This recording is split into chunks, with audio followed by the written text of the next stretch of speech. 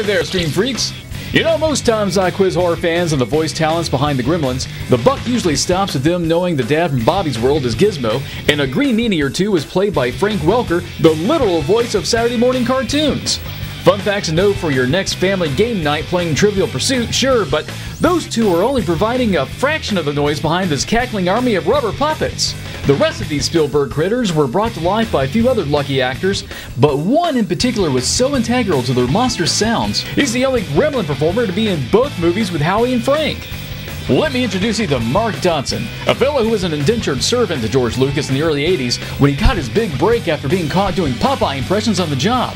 Given a shot at recording some ET lines for Return of the Jedi, Mark was originally going to audition for the space opera's most memorable sea kitten, but had a last minute switcheroo after the voice director heard him shake off some nerves with wild gibberish he thought was perfect for another creature needing a voice.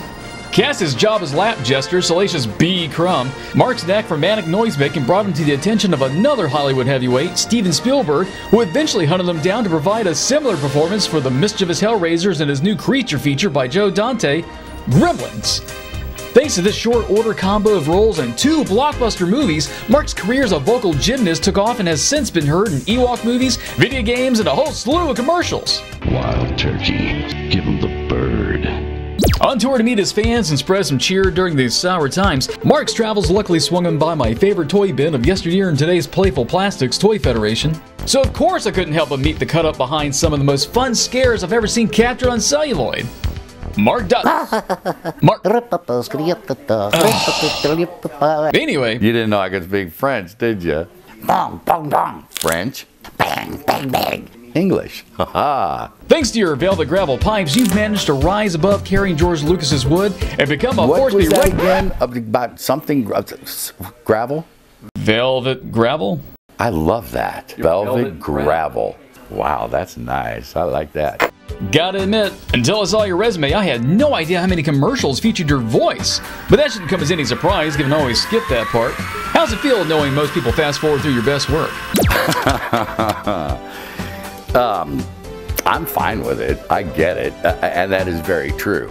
And people do fast forward through. I don't know if it's my some some of it's pretty good stuff, but all that able to fast forward through stuff happened when my kids were little, and I'd be, you know, maybe in the other room, and, and the commercial would come on, and I would hear my kids fast forwarding through it.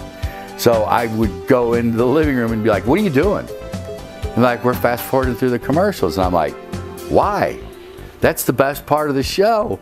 Why would you fast forward? Don't you realize those commercials are what are feeding you? Because they're like, Dad, Dad. I'm like, I'm just saying, you know, I do more of that than I than I do of, of shows and movies and things. So yeah, yeah. I used to, and they, they knew, you know, oh, Dad, stop it, and they fast forward through it. I'd be like, you're probably fast forwarding through your dad. They didn't care, you know. Once I knew what to listen for, I could have sworn that was you in the Men's Wearhouse ad. Wouldn't you agree that George Zimmer would be your vocal cord twin? yeah, I suppose it would. You're gonna like the way you look. I guarantee it. Speaking of separated at birth, do you ever think Toby from The Office looked just like Lenny? Wow. They look a lot alike. Good looking chaps. Since we're talking about gremlins, most fans probably don't realize the first movie's ties behind the scenes to the Transformers because mere months before they blew up as pop culture BattleBots on Saturday morning, you were actually recording gremlin voices in the booth with Frank Welker and Peter Cullen, better known as Megatron and Optimus Prime.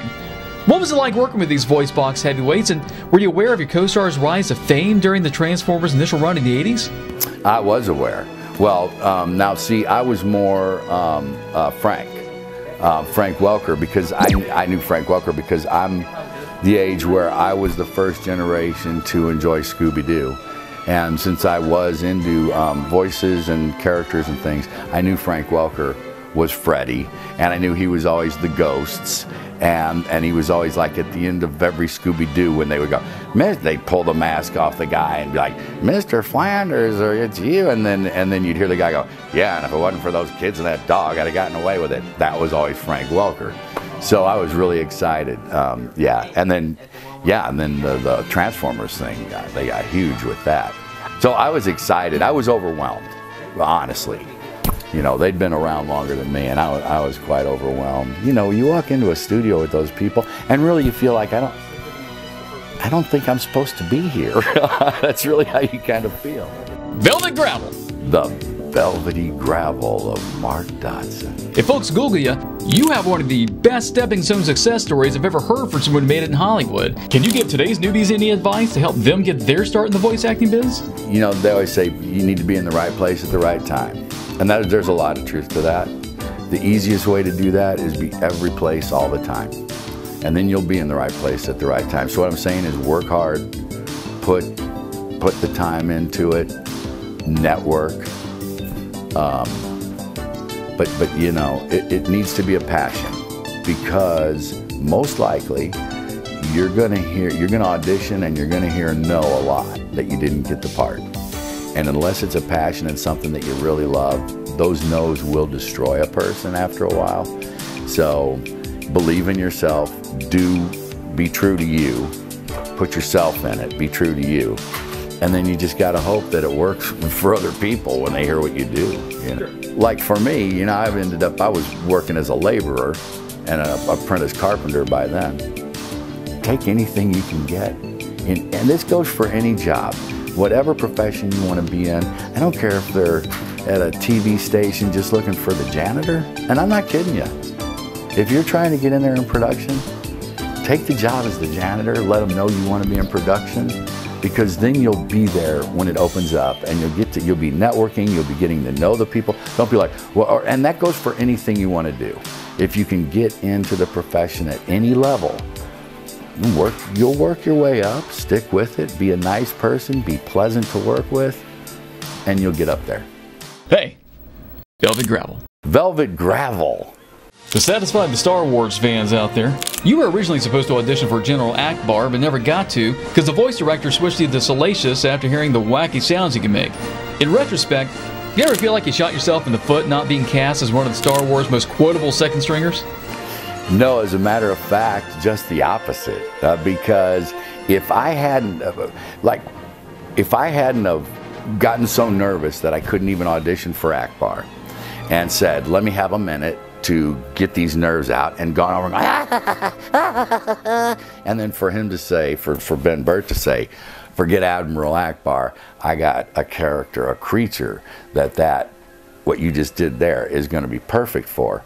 Well see I think that if I'd have tried to fake that I wasn't so nervous, I probably wouldn't even have gotten the part of Ackbar. Probably wouldn't have worked. But not only that, but if I, let's say I did get Ackbar, I would have never gotten the Gremlins. They would have never, uh, the, the Gremlin thing, because the Gremlins came because the Gremlins were made by the same guys that made, you know, Chris Walas and Tony McVey, that, that made Salacious. And that's why it came up that, well, they look a lot the same. Wouldn't it be great for the Gremlins to have that same voice? Who is that guy? So it, it ended up like being the greatest mistake ever for me, you know? After all these years, you finally want to do that audition so we can hear how a fish face might have sounded in an alternate timeline? Oh my God, what do you have, the copy? This is like what they handed me. Now I'm getting nervous. As you can see here, the Death Star orbiting the forest moon of Endor. Although the weapon system on the Death Star are not yet operational, the Death Star does have a strong defense mechanism. It is protected by energy shield, which is generated on the nearby forest moon of Endor. The shield must be deactivated if any attack is to be attempted. It's a trap. That's the one they wanted. That, that was the, what they gave me. And that's why I was like, I'm so nervous to try and read this. anyway, wow, that was fun. Shit. Shit, you just took me back 37 years or something. I don't know. Billy! Well, thank you kindly, Mark, but looks like I gotta corral my partner before he breaks the piggy bank again. Well, I'll see you later, Scream Freaks!